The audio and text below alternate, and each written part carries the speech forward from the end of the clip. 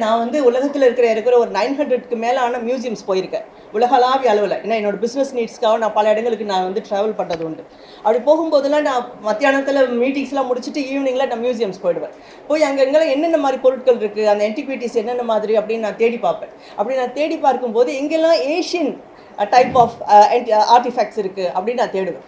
அப்போ பார்க்கப்போ இந்தியன்னா நமக்கு இயல்பாகவே ஒரு ஆர்வம் வரும்ல. ஸோ அதெல்லாம் நான் நோட் பண்ணி வச்சுக்கிறது உண்டுன்னு பாருங்களேன். அப்படி வை இருக்கும்போது பார்த்தோன்னா தமிழ்நாட்டில் இருக்கிறத விட வெளிநாட்டில் ஏராளமான ஆர்டிஃபேக்ட்ஸை பார்க்க முடியுது இப்போ உதாரணமாக நான் இருக்கிற ஊர் பேர் வந்து ஸ்டுட்காட் அப்படிங்கிற ஊர். அந்த ஸ்டுட்காட்ங்கிற ஊரில் வந்து லிண்டன் மியூசியம் அப்படின்னு ஒரு மியூசியம் ஒன்று இருக்குது அந்த மியூசியமில் மட்டுமே தேர்ட்டி ஃபைவ் தௌசண்ட் முப்பத்தி ஐயாயிரம் நீ நோட்ஸ் வேணால் எழுதிக்கோங்க. முப்பத்தி ஐயாயிரம் ஆர்டிஃபேக்ட்ஸ் இந்தியாவோட ஆர்டிஃபேக்ட்ஸ் இருக்குது அது எல்லாத்தையும் நம்ம இங்கே கொண்டு வந்துட முடியுமா? கொண்டு வந்துட முடியுமா? ஆனால் இங்கேருந்து தான் போயிருக்கு. இந்தியாவிலேருந்து தான் போயிருக்கு அப்போ கொண்டு வர முடியும். ஆனால் இப்போதைக்கு அது வாய்ப்பு இல்லை. நமக்கால் முடியாது. ஏன்னா பல மாதிரியான ரெகுலேஷன்ஸ் இருக்குது ரைட் ஸோ பல மாதிரி ரெகுலேஷன்ஸ் இருக்குது அந்த பிரச்சனைகள்லாம் நம்ம வெவ்வேறு வகையில் நம்ம பார்த்து பேசலாம். ஆனால் இந்த ஒன்றே ஒன்று சொல்கிறேன் ஆனால் பிரிட்டிஷ் மியூசியம் இருக்கு இல்லையா? பிரிட்டிஷ் மியூசியம் அதுலேயும் பார்க்கலாம். அது பெரிய ஒரு அருங்காட்சியகம் அதுலேயும் ஏராளமான பொருட்கள் இருக்குது தமிழர்கள் பொறுத்தது. ஆதிச்சநல்லூர் அகழாய்வு பொறுத்த உரியது அரிக்கமேடு அகழாய்வில் செய்தது. இதெல்லாம் இங்கேருந்தே அங்கே போயிருக்கு. இப்போல்லாம் நீங்கள் பார்ப்பீங்க உங்கள் கையில் வாட்ஸ்அப் இருக்குல்ல. வாட்ஸ்அப் இருக்குது ட்விட்டர் இருக்குது அதுலலாம் என்ன செய்தி சொல்கிறாங்க நம்ம பொருட்களை தேடிட்டு போயிட்டாங்க வெளிநாட்டுக்கு. பார்த்துருக்கீங்களா நம்ம பொருட்களை தேடிட்டு போயிட்டாங்க வெளிநாட்டுக்கு. அப்படின்னு சொல்லிட்டு பார்த்துட்டு நம்ம எல்லாரும் என்ன செய்வோம்? ரொம்ப டென்ஷன் ஆகும். ஐயோ நம்ம பொருட்களை தேடிட்டு போயிட்டாங்களே. ஆ? அதோட அதுக்கப்புறம் வேறு என்ன செய்வோம்? அஸ் யூஷுவல் டெய்லி ரொட்டீன் போயிட்டுருக்கோம் நமக்கு. ஆனால் என்ன யோசிக்கணும்னா யாராவது ஒருத்தங்க நம்ம பொருளை திருடுறாங்கன்னா திருட கொடுக்குறவங்க யார்? நம்ம தானே திருட கொடுக்குறோம். திருட்டு கூட இல்லை நம்ம விலைக்கு விற்றுருக்குறோம் சரி அதிகமான பொருட்கள் பல பொருட்கள் இங்கேருந்து எப்படி போயிருக்குனாக்கா நம்ம இருக்கிற பொருட்களே பிறருக்கு காசுக்கு கொடுத்து அவங்களே வாங்கிக்கிட்டார்கள். பல விஷயங்களை நீங்கள் இந்த மாதிரி தான் நீங்கள் பார்க்குறோம். அந்த கொலோனியல் பீரியடில் போர்த்துகீசியர்கள் டச்சுக்காரர்கள் பிரெஞ்சுக்காரர்கள் பிரிட்டிஷ் பீப்புள் இவங்க எல்லாருமே டேனிஷ் பீப்புள் இவங்க எல்லாருமே என்ன பண்ணியிருக்காங்கன்னா காசு கொடுத்துட்டு சாதாரணமாக ஒரு குத்து விளக்கோ அல்லது ஒரு சிவலிங்கமோ அல்லது ஒரு சோழர் கால சிற்பமோ ஏதோ ஒன்று அவங்க வாங்கிட்டு போயிடுறாங்க அவங்களுக்கு அந்த முக்கியத்துவம் சிறப்பாக தெரிஞ்சிருக்கு அதை அழகாக பாதுகாத்துட்டு வராங்க இல்லையா? ஸோ அந்த வகையில் என்னை பொறுத்த வரைக்கும் நீங்கள் எல்லாம் இந்த வாட்ஸ்அப்பில் வரதெல்லாம் ரொம்ப நம்பாதீங்க புரியுதுங்களா? ஸோ ரொம்ப நம்பாமல் நீங்கள் என்ன செய்யலாம்னா பொதுவாக நீங்கள் என்ன பண்ணணுன்னாக்கா நிறைய ரிசர்ச் மெட்டீரியலை தேடணும் நெட்டில் புரியுதா? ஏன்னா நீங்களும் வந்து ரிசர்ச்சர்ஸ் நீங்களாம் வந்து சாதாரணமாக போகிறவங்க இல்லை. ஆ சாதாரணமான பேசுகிறவங்க இல்லை. நீங்கள்லாம் ரிசர்ச்சர்ஸ் ஸோ அப்படிங்கிறதுனால நாம் ரிசர்ச் பண்ணணும். இப்போ என்னுடைய வேலை வந்து நார்மல் ஒர்க் தான். நான் ஒரு ஆஃபீஸில் ஒர்க் பண்ணுறேன் நார்மல் ஒர்க் ஆனால் அதை தவிர்த்து கூடுதலாக ஒவ்வொரு நாளுமே I spend at least five hours for Tamil study Tamil research இந்த மாதிரி. அப்படி வரும்போது நிறைய தகவல்கள் கிடைக்குது. அதில் ஒன்று தான் இந்த லைடன் செப்பேடு ஸோ நான் சொன்ன உங்களுக்கு நான் ஜெர்மனிக்கு போய் எனக்கு ஒரு டுவெண்ட்டி ஒன் இயர்ஸ் ஆச்சு. அதனால் எனக்கு லைடன் செப்பேடு பற்றி நான் இப்போ போய் கடைசியாக பார்த்துட்டு வந்ததுனாக்கா இந்த வருஷம் தான் பார்த்துருக்கேன். ஏன்னா என்னோட சர்ச்சில் எனக்கு தெரியல அது எங்கே இருக்குன்ட்டுன்னு. ஸோ முதல்ல வந்து ஒரு டூ தௌசண்ட் எயிட் அந்த மாதிரி காலகட்டத்திலையும் நான் வந்து லைடன் செப்பேடுகள் பற்றி கேள்விப்பட்டிருக்கேன். ஆனால் எந்த இடத்துல ஜெர்மனியில் நெதர்லாண்டில் ஹாலண்டில் எங்கே இருக்குது அப்படிங்கிறது எனக்கு தெரியல. பிகாஸ் அதை வந்து வெளியில் அவங்க பப்ளிக்காக சொல்லலை. முதல்ல பப்ளிக்காக அதை பற்றி சொல்லலை. யூஸ்வலி ஆர்டிஃபேக்ட்ஸ் எல்லாம் எங்கே இருக்கும்னாக்கா ஒரு மியூசியமில் இருக்கும். ரைட் மியூசியமில் இருக்கும். அதனால நான் என்ன செய்தேன்னா ஒரு முறை நான் அதுக்குன்னே ஒரு டிக்கெட் போட்டுட்டு காரை ரெண்ட்டுக்கு எடுத்துக்கிட்டு நான் ஆம்ஸ்டர்டாமில் இறங்கி அங்கேருந்து ட்ரைவ் பண்ணி லைடன் சிட்டிக்கு போனேன். ஏன்னா லைடன் சிப்பேடு அப்படின்னா லைடனில் இருக்கணும். ரைட் அங்கே போயிட்டு நான் என்ன செய்தேன்னா மூணு நாள் அங்கே தங்கியிருந்து எல்லா மியூசியமும் போனேன். ஏன்னா இதை பற்றி கண்டுபிடிக்க முடியல. எல்லா மியூசியமும் போய் போய் பார்த்தேன். எனக்கு அது எங்கே இருக்குன்னே தெரியல. ரொம்ப டிசப்பாயிண்டட் ஆகிடுச்சு எனக்கு. அதுக்கப்புறம் வந்துட்டு கிவ் அப் பண்ணிட்டேன். அது வந்து ரெண்டாயிரத்தி பதினைந்து. கிவ் அப் பண்ணிவிட்டு அதுக்கு பிறகு எனக்கு ரெண்டாயிரத்தி பத்தொன்பது கடைசியில் தான் தெரிஞ்சுது லைடன் யூனிவர்சிட்டி லைப்ரரியில் இருக்குன்ட்டு. சரி இது லைடன் யூனிவர்சிட்டி லைப்ரரி லைப்ரரியில் யூஸ்வலி இப்போ கன்னிமாரா லைப்ரரியில் சார் ஒருத்தர் வந்திருக்கார். அங்கே லைப்ரரியில் என்ன இருக்கும்? புக்ஸ் இருக்கும் இல்லையா? ஓலைச்சுவடிகள் இருக்கும். ஸோ அந்த மாதிரி இருக்கும். ஆனால் இங்கே வந்து இந்த செப்பேட் அவங்க வச்சுருக்குறாங்க அப்படின்னு செய்தி தெரிஞ்சோன்னா ஓ அதனால தான் நமக்கு தெரியல அப்படின்னு சொல்லிட்டு நான் அவங்களுக்கு எழுதி மெசேஜ் எழுதி போட்டு அவங்களுக்கு வந்து விஷயத்த நான் கேட்டேன். எங்கே இருக்குது அப்படின்னா தென் தி சைட் ஓகே நீங்கள் வந்து பார்க்கலாம் அதில் ப்ராப்ளம் இல்லை but give me all this information உங்களோட டீட்டெயில்ஸ் எல்லாம் கொடுங்க அப்படின்னு. ஸோ நான் கொடுத்துட்டு இருக்கப்போ கொரோனா வந்தது தென் அதனால் போக முடியல அடுத்து. இப்போ அதுக்கு பிறகு இந்த வருஷம் தான் மெதுவாக ஓப்பன் பண்ண சமயத்தில் நான் ஒஃபிஷியலாக வந்து அவங்களுக்கு கடிதங்களை போட்டு வந்து பார்க்கணும் அது எப்படி இருக்குது முழுமையாக இருக்கா எல்லா விஷயங்களும் சரியாக இருக்குது இருக்கா அப்படிங்கிறத நேரடியாக பார்க்கணும் சர்வே பண்ணணும் அப்படின்னு சொன்னோன்னா தென் இஸ் இட் ஓகே நீங்கள் வந்து பார்க்கலாம். எவ்வளோ மணி நேரம் வந்து வேணும்? எல்லாம் கரெக்டாக சொல்லி அவங்க வந்து கொடுத்துருக்காங்க. ஸோ அதை வந்து ஃபுல்லாக வந்து ஒரு வீடியோ செய்திருக்கோம். அதுக்கு பிறகு நான் உங்களுக்கு காட்டுறேன். அதை நீங்கள் பார்க்கலாம். இப்போ நம்ம வந்து இந்த டாபிக் உள்ள போகும் இப்போ இந்த நெதர்லாந்து ஆணைமங்கல செப்பேடுகள் அப்படின்னு நம்ம சொல்லும் பொழுது நெக்ஸ்ட் ஸ்லைட் போங்க சார் சார் நெக்ஸ்ட் ஸ்லைட் போகும் ஸோ நம்ம போகும்போது ஒரு புத்தகம். இந்த புத்தகத்தை வந்து நம்ம எல்லாரும் இந்த புக் இந்த புக்கு நீங்கள் நெட்டில் வந்து ஃப்ரீயாக டவுன்லோட் பண்ணலாம். த நாகப்பட்டினம் அண்ட் த புடிஸ் பிரான்சஸ் அப்படிங்கிறது. இது நீங்கள் பார்த்தீங்கன்னா இதை எழுத்து கரெக்டாக தெரியல. நான் வேணா அப்புறமா உங்களுக்கு பிடிஎஃப் அனுப்பி வைக்கிறேன். இது வந்து இங்கே இந்த மியூசியம் சென்னை மியூசியம் இருக்குல்ல இங்கே உள்ளவர் எழுதுனது தான். Nineteen fifty three nineteen fifty six அந்த காலகட்டத்தில் எழுதுனது தான் அந்த புத்தகம். நாகப்பட்டினத்தில் இருக்கிற புடிஸ் பிரான்சஸ் புடிஸ் பிரான்ஸ் ஸ்டாச்சூஸை பற்றி அடுத்தது அடுத்தது போங்க சார் இப்போ நீங்கள் இதில் பார்க்கலாம் இந்த இதெல்லாம். இப்போ இதெல்லாம் அவர் என்ன சொல்கிறாருன்னா சார் இந்த அத்தனை பிரான்ஸ் ஏற்கனவே முந்நூற்றி ஐம்பது பிரான்ஸ் ஸ்டாச்சூஸ் இந்த மியூசியமில் இருக்குங்கிறாங்க. ஸோ இதே மியூசியமில் இருக்குது அப்போ நமக்கு டிஸ்பிளேல இருக்கான்னு நமக்கு தெரியல பாருங்கள் ஸோ அதனால் இப்போ அது ஏன்னா நீங்கள் ஒவ்வொரு டிஸ்பிளேலையும் ஒவ்வொரு வகையில் வைப்பீங்க. ஸோ இந்த செப்பேடுகள் சாரி இந்த பிரான்ஸ் ஸ்டாச்சு இதான் செப்பு திருமேனின்னு தமிழில் சொல்லுவோம் இல்லையா? ஸோ அந்த மாதிரியான செப்பு சிலைகள் கோயிலெல்லாம் பார்ப்பீங்களே இதெல்லாம் நாகப்பட்டினத்தில் அகலாய்வு செய்து அங்கேருந்து எடுத்துட்டு கொண்டு வரப்பட்டு பிறகு பல்வேறு இடங்கள்ல இருந்தாலும் கடைசியாக மியூசியமில் வச்சுருக்காங்க. ஸோ எவ்வளோ சொன்னேன்? எத்தனை statues three hundred fifty ரஃப்லி about more than three hundred ஃபிஃப்டிங்கிறாங்க next slide போங்க சார் ஓகே இப்போ நீங்கள் பார்த்தீங்கன்னா எந்தெந்த இடத்துல வந்தது அப்படின்னா நாகப்பட்டினத்தில் இருக்கிற வெள்ளிப்பாளையம் அப்புறம் நாணயக்கார சாலை. இந்த ரெண்டு இடத்துல இந்த அகழாய்வு நடந்திருக்கு. வெள்ளிப்பாளையம் என் நாணயக்கார சாலை. இது ரெண்டுல நடந்த அகழாய்வுலேயே உங்களுக்கு முந்நூற்றி ஐம்பது செப்பு சிலைகளும் அது மட்டும் இல்லாமல் உங்களுக்கு கற்சிலைகளும் கிடைச்சிருக்கு. சரி அவ்வளோ கற்சிலைகள் வச்சுருக்கேன் ஒரு சில கற்சிலைகளை இன்னும் அவங்க சாமியாவே அங்கே வைத்துட்டு இருக்காங்க. நெக்ஸ்ட் லைட் போங்க சார் சரி இப்போ பார்த்தீங்கன்னா இந்த கோயிலை நீங்கள் பார்த்துக்கோங்க இந்த கோயிலை பற்றிய படம் அப்படிங்கிற அந்த புத்தகம் நம்ம முதல்ல பார்த்தோம் இல்லையா? டி. என். ராமச்சந்திரன் அவரோட புத்தகம். அந்த புத்தகத்தை தவிர வேறு எதுலேயும் ஒரிஜினல் இல்லை. எனக்கு இது வரைக்கும் கிடைக்கல. நானும் பல பெயிண்டிங்ஸை தேடி பார்த்தேன். டச்சுக்காரர்களோட பெயிண்டிங்ஸ் அவங்களோட நிறைய அவங்க பெயிண்டிங்ஸ்லாம் செய்வாங்க. அதெல்லாம் கூட தேடி பார்த்தேன். எனக்கு இது வரைக்கும் அந்த பெயிண்டிங்ஸ்லாம் எனக்கு கிடைக்கல. ஆனால் இந்த வடிவத்தில் இந்த சூடாமணி விஹாரை அப்படின்னு இருந்தது. முதல்ல என்ன இன்ட்ரடியூஸ் பண்ண சார் வந்து அதை பற்றி அழகாக பேசினார். ஒரு பாட்டாக சொன்னார் இல்லையா? ராஜராஜன் வந்து ஒரு சூடாமணி விஹாரை கொடுத்தான்ட்டு. அந்த கோயிலுடைய வடிவம் இது. சார் நெக்ஸ்ட் சார் இப்போ பார்த்தீங்கன்னா அதை பற்றி நம்ம பேசும் பொழுது ராஜராஜனை பற்றி பேசுகிற போது நம்ம வந்து ஸ்ரீ விஜய பேரரசு இந்த டெக்ஸ்ட்லாம் கொஞ்சம் ஒழுங்காக வரல இதில் ஸ்ரீ விஜய பேரரசு அப்படிங்கிற ஒரு கிங்டம் பற்றி நம்ம பேசணும். இப்போ நம்ம என்ன நினைக்கிறோம்? நம்ம ஹிஸ்ட்ரி ஸ்டூடெண்ட்னா எப்பயுமே நம்மளுடைய ஒரு சின்ன சர்க்கிள்குள்ளே தமிழ்நாட்டுக்குள்ளே மதுரை மட்டுமே கோயிலை சுற்றிட்டே இருப்போம். இல்லையா? இல்லாட்டி திருநெல்வேலி மட்டுமே சுற்றிட்டு இருப்போம். சென்னை ஒரு வரலாற்று சிட்டியா அப்படின்னு கேட்டால் இல்லைன்னு சொல்லுவோம். ஆனால் சென்னை ஒரு வரலாற்று சிட்டி அவ்வளோ விஷயங்கள் இருக்குது சென்னையிலே. அப்போது இதை கடந்து கூட நம்ம என்ன பண்ணணும்னாக்கா நம்ம கிழ- கிழக்காசிய நாடுகள் இருக்கு இல்லையா? சவுத் ஈஸ்ட் ஏஷியன் கண்ட்ரீஸ் அந்த மாதிரி நம்ம வந்து ஃபா ஈஸ்ட் ஏஷியன் கண்ட்ரிஸ் இந்த மாதிரி நிறைய கண்ட்ரிஸ் இருக்குது அதுக்கு நம்ம போகணும். அப்படி பார்த்தோம்னா இது மலேசியா. மலேசியா. இங்கே பார்த்தீங்கன்னாக்கா இது வந்து இந்தோனேசியா. இந்த போர்னியோ இருக்குது இது வந்து Cambodia Vietnam Laos Thailand. Right so இந்த இடம்லாம். இந்த இடத்துல எல்லாம் வந்து ஒரு பெரிய ஒரு நிறைய கிங்டம்ஸ் இருந்திருக்கு. கிபி ஏழு ஆறு ஏழு எட்டு அந்த காலத்துலலாம் நிறைய இருந்திருக்கு. இதில் இந்த ஸ்ரீவிஜயாங்கிறது இந்த க்ரீன் மார்க் இதை பார்த்துக்கோங்க. ஆ, இதான் இந்த க்ரீன் மார்க் போட்டிருக்கு இல்லையா? இந்த பகுதி வந்து மலேசியா அண்ட் இந்தோனேஷியாவை கவர் பண்ணுற இந்த ரெண்டு பகுதியும் இணைக்கிற அந்த பகுதி வந்து நம்ம வந்து ஸ்ரீவிஜயா கிங்டம்னு சொல்கிறோம் இந்த ஸ்ரீவிஜயா கிங்டம் அப்படிங்கிறது மலாய் பேசுகிற ஆனால் ஹிந்து சமயத்தையும் புத்த சமயத்தையும் சார்ந்தவர்கள். புரியுதா உங்களுக்கு? ஸோ அடிப்படையில் அவங்க வந்து மலாய் இன மக்கள். ஆ, மலாய் இன மக்கள்.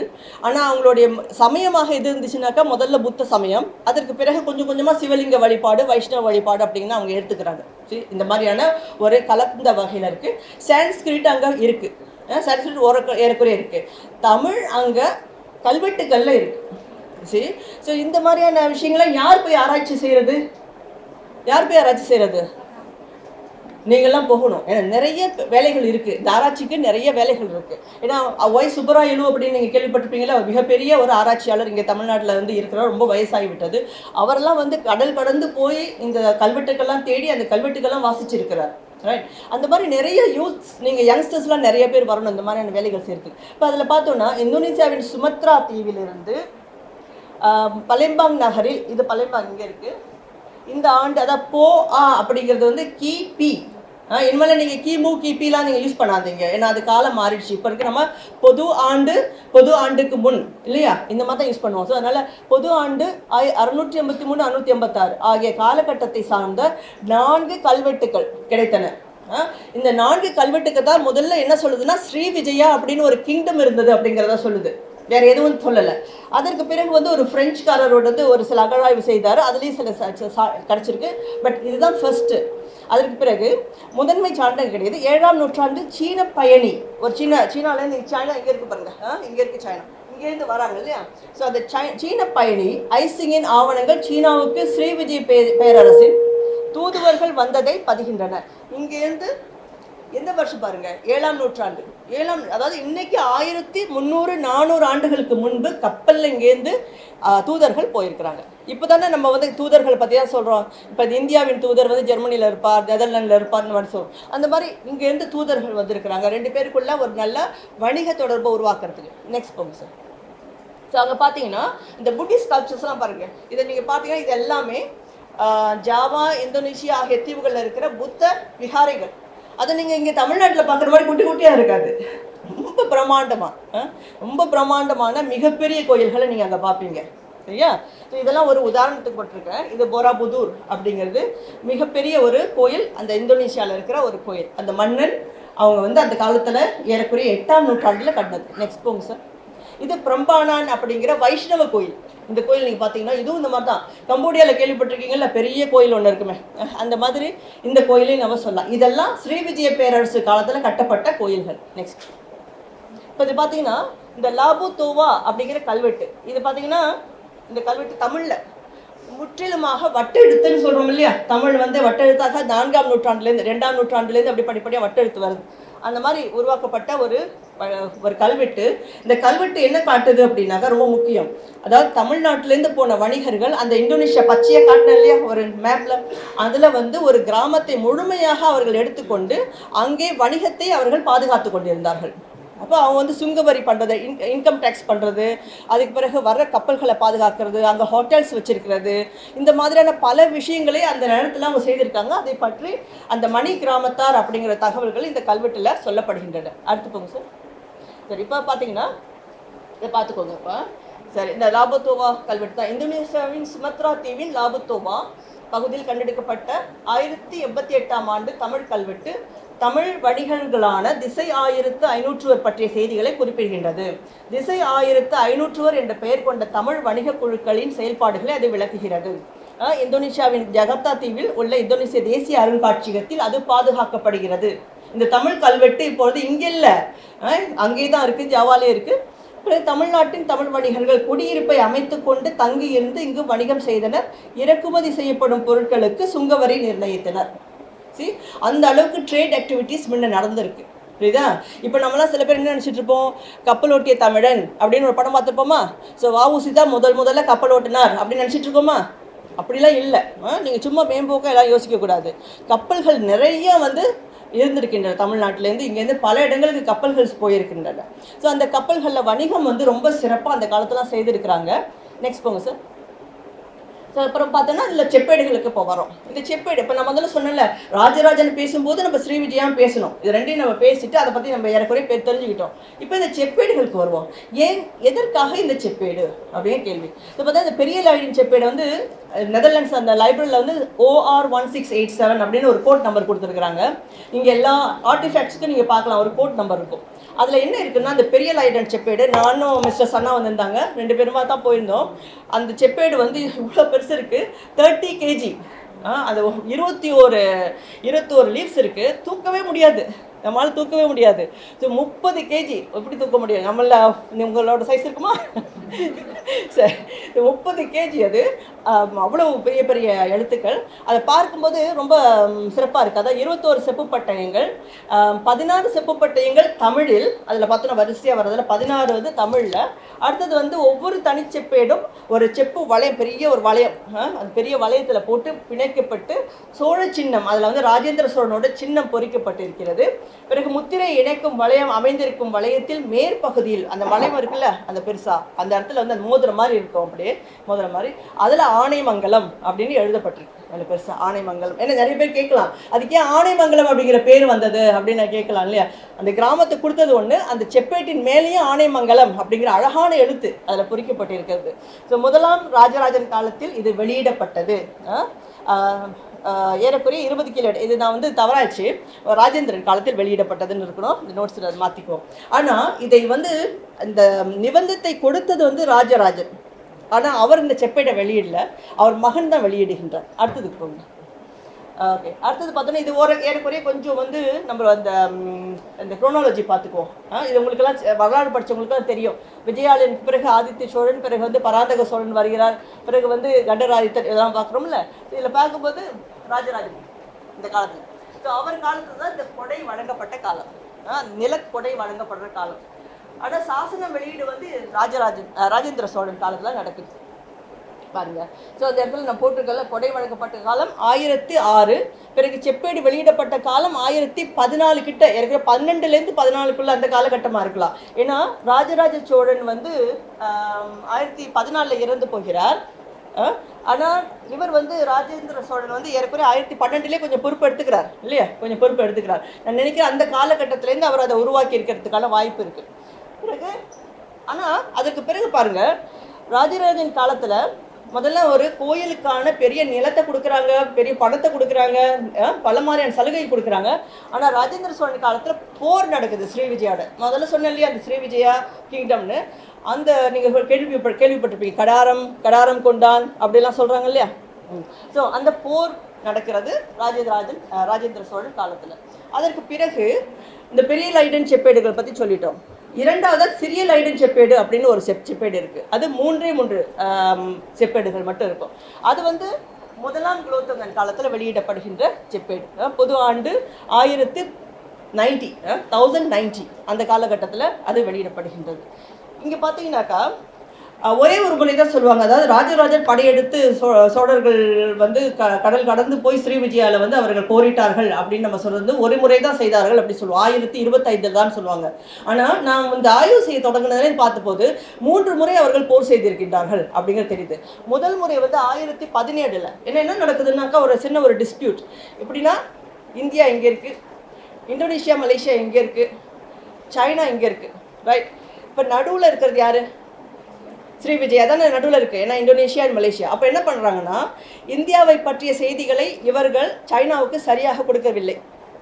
புரியுதா? அவங்க என்ன பண்ணுறாங்க இந்தியாவை பற்றிய செய்திகள் வ- வணிகப் பொருட்கள்லாம் நேராக இங்கே வந்து இந்த இந்தோனேஷியாவுக்கு வரும்பொழுது மலேசியாவுக்கு வரும்போது அதை வாங்கி கொண்டு அவர்கள் இங்கே இருக்க பொருட்களை கொண்டு போய் அங்கே விற்கும் பொழுது இந்தியாவிலேருந்து வந்த பொருட்கள்னு சொல்கிறதில்ல இந்தியாவோ சோழர்களோ பெரிய மன்னர்கள் பெரிய சோழர்கள் அப்படின்னு சொல்கிறதில்ல அதனால் என்ன ஆச்சுன்னா ஒரு முறை ராஜேந்திர சோழன் என்ன பண்ணுறாருன்னா ஒரு அவங்களுடைய தூதர்களை சைனாவுக்கு அனுப்புகிறார் ஒரு ஃப்ரெண்ட்லியாக ஒரு ஃப்ரெண்ட்லி கெஸ்டராக அனுப்பி வைக்கிறார். அப்போ சொல்லும்பொழுது அவங்க என்ன கேட்குறாங்கன்னா நீங்கள் ஒரு சிறிய அரசா? அப்படின்னு கேட்குறாரு சிற்றரசா நீங்க அப்படின்னு தெரியுது அப்போ தான் அவங்களுக்கு தெரியுது சரியான ரெப்ரசன்டேஷன் அங்கே இல்லை அப்படின்னு. ஸோ அதனால் என்ன ஆகுதுனாக்கா ஒரு முதல் போர் ஆயிரத்தி பதினேழில் தன்னோட பலத்தை காட்டணும் இல்லையா?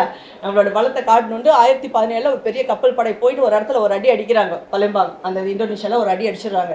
அப்போ அவங்களுக்கு ஒரு ஆட்டம் வருதுன்னு வச்சுக்கோங்களேன் ஃபஸ்ட்டு அதற்கு பிறகு திரும்ப வந்துடுறாங்க. திரும்ப வந்துட்டு ஆயிரத்தி இருபத்தைந்து தான் மிகப்பெரிய போர்.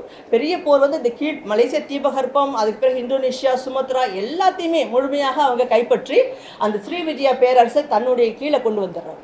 புரியுதா? இது ஆயிரத்தி இருபத்தைந்து.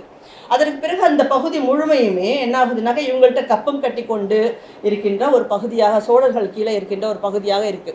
அதற்கு பிறகு படிப்படியாக என்ன ஆகுதுனாக்கா இங்கே ராஜாக்கள் மாறுறாங்கல்ல. ராஜாதி ராஜா வராரு. பிறகு ராஜேந்திரா டூ வராரு. அப்போ இவங்கெல்லாம் கொஞ்சம் அப்படியே பலம் இழக்கிறாங்க ரைட் பிறகு குலோத்துங்கன் வர சமயத்தில் அவங்க என்ன பார்க்குறாங்கன்னா திரும்பவும் அதே பிரச்சனை வருது. அதனால் திரும்பவும் தன்னுடைய பலத்தை காட்டணுமேன்னு சொல்லிட்டு ஒரு போர் இப்போ வீரராஜேந்திரன் காலத்தில் இன்னொரு போர் ஒன்று நடக்குது. அதற்கு பிறகு அவங்க அடங்கி போய் விடுகிறார்கள். ஸ்ரீ விஜய பேரரசுங்கிறது அதோட ஆளுமை குறைந்து குறைந்து குறைந்து போய் விடுகிறது. அதற்கு பிறகு மீண்டும் வந்து அவங்க வந்து அந்த செப்பேடு எங்களுக்கு வந்து ஒரு செப்பேடு கேட்குறாங்க அதாவது எங்களுடைய அந்த பள்ளியை நீங்கள் பாதுகாக்க வேண்டும் அப்படின்னு கேட்குறாங்க சரி நெக்ஸ்ட் போங்க. இப்போ வந்து இந்த செப்பேடை பார்ப்போம். ஸோ இங்கே பார்க்கலாம். அதில் வந்து இந்த முத்திரை இருக்கும். இவ்வளோ பெரிய முத்திரை. என் கை அதனால தான் அந்த படம் வைத்தேன் ஏன்னா உங்களுக்கு கையை பார்க்கும்போதே தெரியும் இல்லையா? எந்த அளவுக்கு அந்த முத்திரை இருக்குது அப்படின்னு சொல்லிட்டு. அவ்வளோ பெரிய செப்பேடு அது.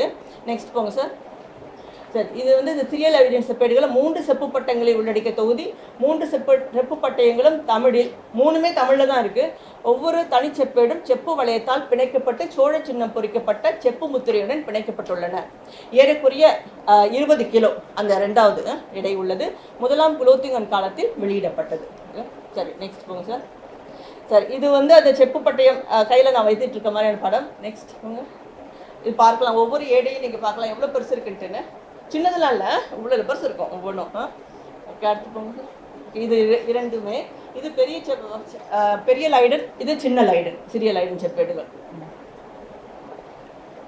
நெக்ஸ்ட் போங்க ஓகே ஸோ இது வந்து இதை பற்றிய செய்தி அந்த செப்பேட்டில் என்ன இருக்குது அப்படின்னு எல்லாருக்கும் நிறைய பேருக்கு ஆர்வம் இருக்கும்ல. அதில் என்ன தான் எழுதிருக்கு அப்படிங்கிற ஒரு ஆர்வம் இருக்கும்.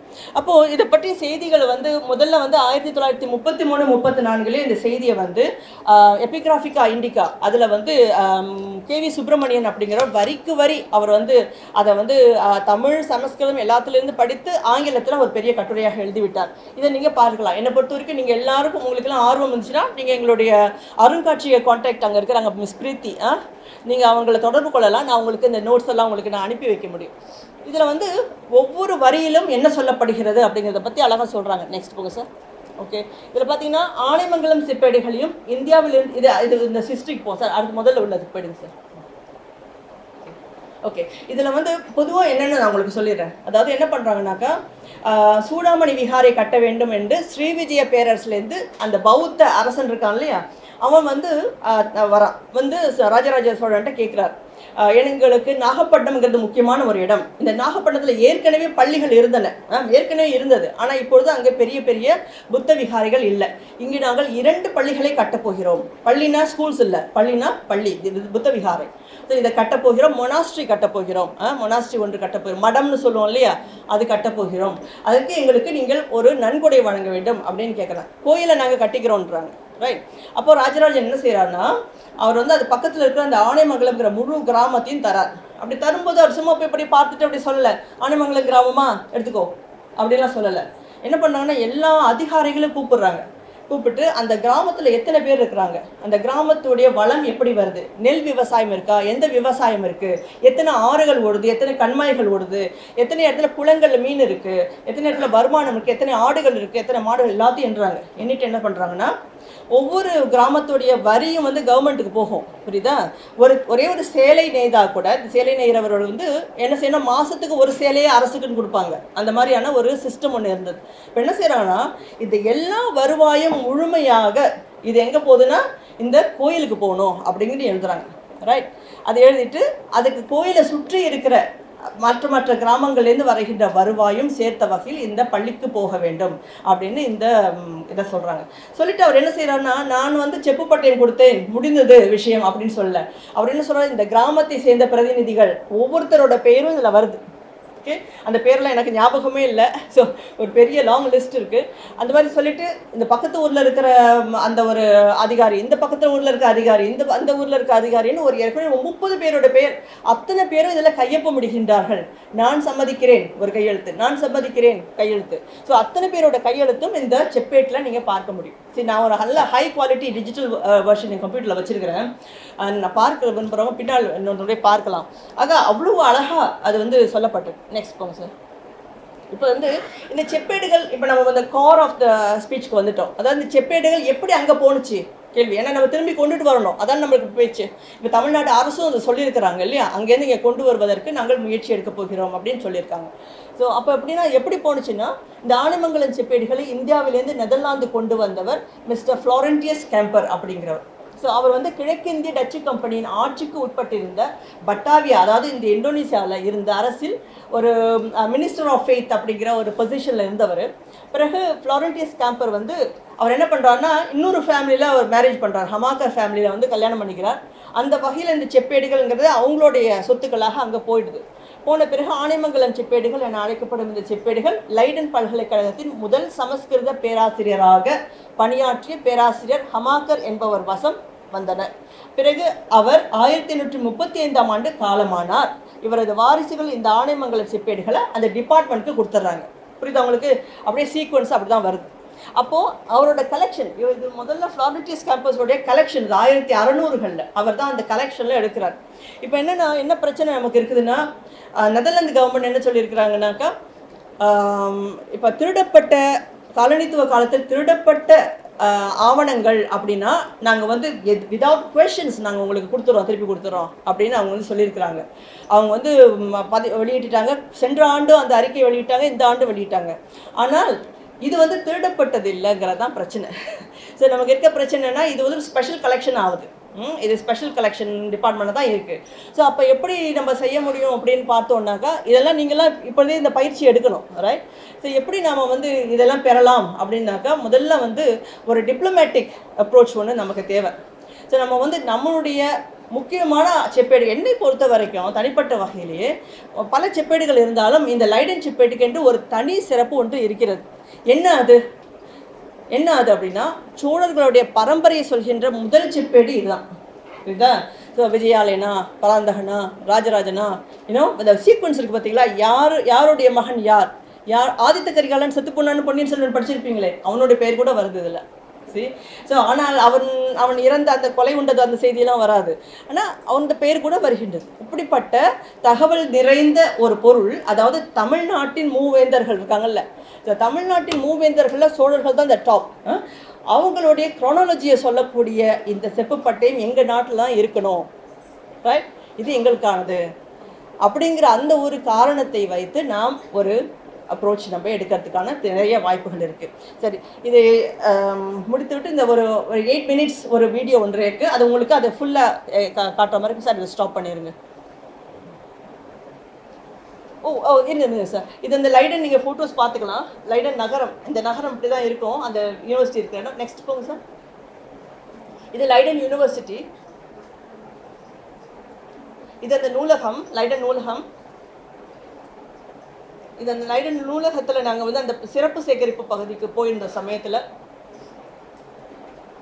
ஓகே இப்போ வந்து நாம கொண்டு வரக்கூடிய சில அறிக்கைகள்லாம் அதில் நான் லிஸ்ட் பண்ணியிருக்கிறேன். அது அதிகாரிகளுக்கு பயனுள்ள வகையில் இருக்கும். நம்ம சென்னை மியூசியமுக்கு கொண்டு வர வேண்டும் அப்படிங்கிறது தான் நம்மளுடைய நோக்கம். ரைட் இப்போ பார்க்கலாம் இந்த இந்த சிட்டி இது இந்த லைடன் சிட்டி எப்படி தெரியுமா? இது மாணவர்களுக்கே உள்ள இது பல்கலைக்கழக நகரம் இது. முழுசு ஆக்ஸ்ஃபோர்ட் சொல்லுறோம் ஆக்ஸ்ஃபோர்ட் அப்படின்னு சொல்லுவோமே. அந்த மாதிரி இந்த இதுதான் இது வந்து அதோட நூலகம். லைடன் யூனிவர்சிட்டியோட நூலகம். இது நுழைவாளி பகுதி. இப்போ நெதர்லாண்ட்ஸில் நீங்கள் பார்க்கலாம் சைக்கிள் தான் நிறைய பயன்படுத்துவாங்க அங்கே. அங்கே வந்து கார்லாம் பயன்படுத்த ரொம்ப குறைச்சல். எல்லாரும் சைக்கிள் பயன்படுத்துவாங்க. அதனால சா வாசலில் பார்க்கலாம் நிறைய சைக்கிள் இருக்கு பாருங்க.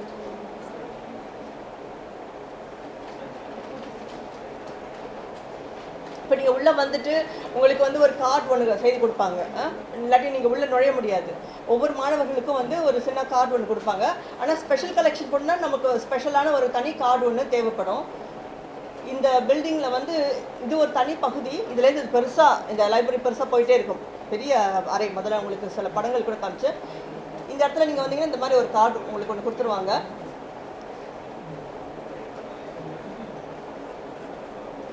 இதை பார்த்துட்டு நீங்கள் உங்கள் லிஃப்ட்டில் வந்து அந்த ஸ்பெஷல் கலெக்ஷன் டிபார்ட்மெண்ட்டுக்கு நீங்கள் மேலே போகலாம். இது நான்காவது மாடியில் இருக்குது நான்காவது மாடிக்கு நீங்கள் போயிட்டு உங்களுக்கு திங்ஸ் எதுவுமே நீங்கள் உள்ளே கொண்டுட்டு போக முடியாது கம்ப்யூட்டர் தவிர. அங்கே நீங்கள் வைத்துட்டு இங்கே பார்க்கலாம். ஸ்பெஷல் கலெக்ஷன் ரீடிங் ரூம் போட்டிருக்கு இல்லையா? இந்த இடத்துல தான் இருக்குது இங்கே நீங்கள் பார்த்தீங்கன்னா இந்த ஆர்டிஃபேக்ட்ஸை பார்க்கறதுக்கு அப்படின்னு சொல்லிட்டே வந்து நிறைய ஆய்வாளர்கள் வருவாங்க. வந்து அவங்க அமைதியாக உட்காந்து ஆய்வுகளை செய்துட்டு இருப்பாங்க. இப்போ நமக்கு நான் கேட்டிருந்ததுனால எனக்கு வந்து இந்த செப்பேடுகளை அவங்க வந்து எனக்கு அழைத்து விட்டார்கள். என் பக்கத்தில் அங்கே ஒருத்தர் உட்காந்துருக்காரு பாருங்கள் அந்த மாதிரி ஒரு ஆய்வாளர் தான் அவரும் செய்துட்டுருக்காரு. இப்போ இதை நீங்கள் பார்க்கலாம். எவ்வளோ பெருசுக்கு அந்த செப்பேடு இருக்குது அப்படின்னு. இவ்வளோ பெருசுக்கு இருக்கும் அந்த மோதிரம். மாட்டு ரொம்ப பெருசாக இருக்கும். எழுத்துக்களை கூட நீங்கள் பார்க்கலாம். ஸோ முழுசா. இருபத்தி ஒன்று இதில் இருபத்தொன்று இருக்குது இதில் பார்த்தீங்கன்னா இந்த இதில் பாருங்கள் இந்த மீன் சின்னம் எல்லாமே அதில் வரும். கொடி ராஜரா ராஜேந்திரன் காலத்து சின்னம் அது கிளியராக இதில் வந்து குலோத்துங்கனுடைய சின்னம். தமிழ் எழுத்து பாருங்க அந்த காலத்தில்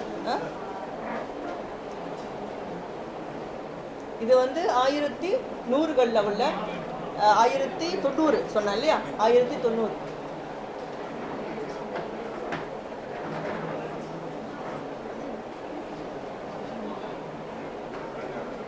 இதில் முதல்ல பார்த்தீங்கன்னா முதல்ல இருக்கிற ஐந்து செப்பேடுகள் சமஸ்கிருதம். அதை அது முடித்த பிறகு வர்றது தான் இருபது பதினாறு செப்பேடுகள் தமிழில். இப்போ நீங்கள் பார்த்தீங்கன்னா இந்த ஆனைமங்கலம் இங்கே தான் போட்டிருக்கோம் இதில். இப்போ அந்த ஐந்து செப்பேடுகளில் தான் வந்து மன்னருடைய பரம்பரை சொல்லப்படுகிறது. எந்த விஜயாளனுக்கு அடுத்து அடுத்தது யார்? பராந்தகனா அடுத்தது ஒவ்வொன்றாக சொல்லப்படுகிறது. இது தமிழ் எவ்வளோ அழகாக இருக்கு பாருங்கள் அழகான எழுத்துக்கள். தமிழில் தெரியுது இல்லையா? ஸோ அப்போ அதுக்கு பிறகு வர பதினாறு எழுத்துக்கள். இதில் கடைசி இன்னொன்று என்ன தெரியுமா சொல்கிறாங்க இந்த செப்பேட்டை எழுதியவன் யார் அப்படிங்கிற இரண்டு பேரோட பேரை கூட அதில் எழுதியிருக்கிறாங்க. சரி. இந்த மாதிரி அவர் ரொம்ப அருமையான ஒரு செப்பேடு. அதை பார்த்த போது எனக்கே தெரிஞ்சது முன்ன முன்பு கூட பரவாயில்ல எவ்வளோ ஆர்டிஃபேக்ட்ஸ் வெளிநாடுகளில் இருக்கு இதுவும் அப்படி இருந்துட்டு போகலாமே அப்படின்னு கூட தோணுது. ஆனால் நேராக பார்த்த பிறகு எனக்கு என்ன தோணுச்சுன்னா அது நிச்சயமாக இங்கே வந்து சென்னை அருங்காட்சியகத்துக்கு வரணும் ஒரு சிறப்பான ஒரு வகையில் இதை கொண்டு வந்து நம்ம சேர்க்கணும் இல்லையா? அதுக்கு நம்ம வந்து இதை கட்டாயமாக செய்யணும். முப்பது கேஜி இது ஒன்று மட்டுமே. முப்பது கேஜி அவ்வளோ பெருசு.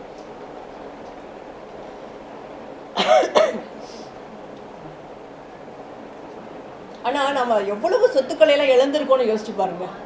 எவ்வளவு இந்த மாதிரியான எத்தனை சொத்து சொத்துக்களை நம்ம இழந்திருக்கோம்? ஆனால் நம்ம அவர்களை போற்றணும் இதை வந்து தூக்கி வீசாமல் இதை உருக்கிடாமல் ஆ? உருக்கி வீணாக்காமல் இதை அப்படியே பத்திரமா நமக்காக வச்சுருந்தாங்கல்ல அதுக்காக அவங்களுக்கு நம்ம உண்மையிலே ஒரு நன்றி கடன் தான் சொல்லணும் மாணவர்கள் நான் உங்களுக்கெல்லாம் சொல்கிறேன் இப்போ இருக்க ஆப்பர்ச்சுனிட்டி உங்களுக்குலாம் ரொம்ப அதிகமாக இருக்குது பல கண்ட்ரீஸோடு நீங்கள் சேர்ந்து ஆய்வுகள் செய்யலாம். பல நாடுகளோடு சேர்ந்து செய்யலாம். ஸோ இன்டர்நெட்டை நல்லா பயன்படுத்தி கொள்ளுங்க. ஸ்காலர்ஷிப்ஸ் வரப்போதெல்லாம் நிறைய பயன்படுத்திக்கிட்டு போஸ்ட் கிராஜுவேட் ஸ்டடீஸ் பண்ணுறதுக்கு அதுக்கெல்லாம் நீங்கள் அயல் நாடுகளுக்கு போகிற வாய்ப்புகள்லாம் தாராளமாக நீங்கள் நிறைய செய்யலாம். வாய்ப்புகள் இருக்குது எவ்வளோ பெரிய திக்கான வளையம் பாருங்கள் அது. ஒவ்வொன்றும் அதோட இன்னொன்று நான் சொல்லணும். இதை வந்து கொண்டு வந்து ராஜராஜன் கடைசியை இறுதியாக முதல்ல அந்த பெரிய செப்பேடை வந்து சாரி அந்த நிபந்தம் கொடுக்குற போது எப்படி வந்தாருன்னு அதை காட்சிப்படுத்துகிறாங்க அந்த காட்சிப்படு அது இதுலேயே வருது. எப்படி வந்திருக்காருன்னா வெள்ளை யானையில் சாரி சாரி பெண் யானையில் வெள்ளைங்க பெண் யானை ஒன்றில் அவர் பேர் பவனி வராரு பவனி வராரு. அந்த பவனி வரும் பொழுது அந்த வெவ்வேறு கிராமத்து தலைவர்கள் இருக்காங்கல்ல அந்த அந்த கிராமத்து தலைவர்களும் அவங்களும் யானையில் வராங்க. ஈக்குவலாக பாருங்க. அவங்க வந்து ட்ரீட் பண்ணியிருக்கிறாங்க. எல்லாருமா வந்து நிலத்தை பார்க்குறாங்க. அந்த ரெக்கார்ட்ஸில் இருக்குதுல்ல ஓலையில் எழுதியிருக்கு. இந்த ரெக்கார்ட்ஸ் இந்த எல்லை இதுதானே? இந்த ஆறு இதுக்குள்ளே வருதா? இந்த கண்மாய் இதுக்குள்ளே வருதா? எல்லாத்தையும் முழுமையாக பார்த்துருக்காங்க. அப்படியே சுற்றி வந்து. அது இதில் சொல்லப்படுது.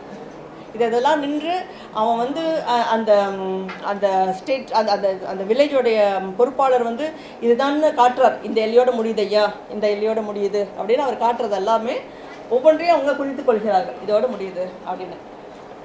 அப்புறம் இன்னொன்று சொல்லியிருக்கிறாங்க. அதாவது ஒரு கிராமம் இருக்குது இங்கே ஒரு கிராமம் இங்கே ஒரு கிராமம் இருக்கும்ல. நிச்சயமாக இங்கே எங்கேன்னு இருக்கும்ல. இப்போ என்ன சொல்கிறாங்க ஒரு ஆறு இப்படின்னு ஓடுதுன்னு வச்சுக்கோங்க.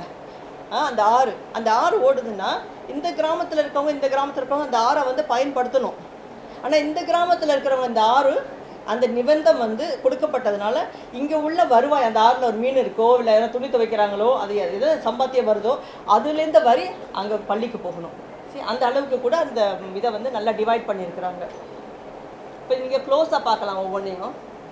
இப்போ எப்படின்னா இதில் இறுதியில் வந்து டாக்டர் பத்மாவதி கூட பேசுவாங்க. இந்த கொண்டு வரணும் நம்ம அப்படின்ட்டு. என்ன டாக்டர் பத்மாவதிலாம் முக்கியமான கல்வெட்டு ஆய்வாளர்கள் இங்கே தமிழ்நாட்டில். நமக்கு வந்து பெருங்கடமைகள் இருக்குது இல்லையா?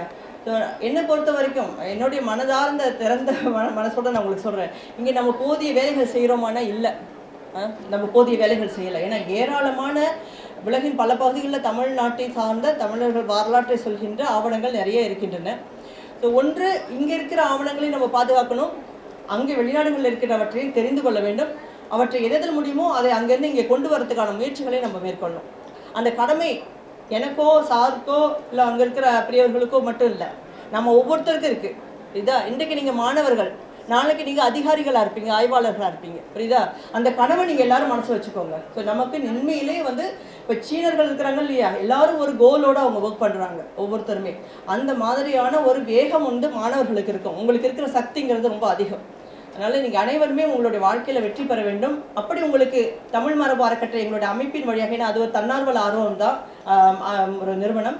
அதன் வழியாக உங்களுக்கு தகவல்கள் உங்கள் ஆய்வுக்கு தேவைப்பட்டால் தாராளமாக தயங்காமல் நீங்கள் தொடர்பு கொள்ளுங்கள். இந்த அருங்காட்சியகத்துக்கு இதை கொண்டு வருவதற்கான எல்லா வகையான உதவிகளையும் செய்ய தமிழ் மரபு அறக்கட்டளை துணையாக இருக்கின்றோம். அது தொடர்பாக அங்கே நெதர்லாந்தில் பேசுவதற்கும் சரி கடித போக்குவரத்தில் உருவாக்கி கொடுப்பதற்கும் சரி நாங்கள் ஆர்வத்துடன் இருக்கின்றோம். நிச்சயமாக இதனை நாம் கொண்டு வர வேண்டும் என்று ஒரு உறுதி எடுத்துக்கொள்வோம். நிச்சயமாக இன்றைக்கு சரியா? அனைவருமே அஹ், இந்த நிகழ்ச்சியில் நீங்கள் பங்கேற்றதில் எனக்கு மகிழ்ச்சி. உங்கள் அனைவருக்கும் சான்றிதழ் கிடைக்க இருக்கின்றது. உங்கள் அனைவருக்கும் எனது நல்வாழ்த்துக்கள். நன்றி.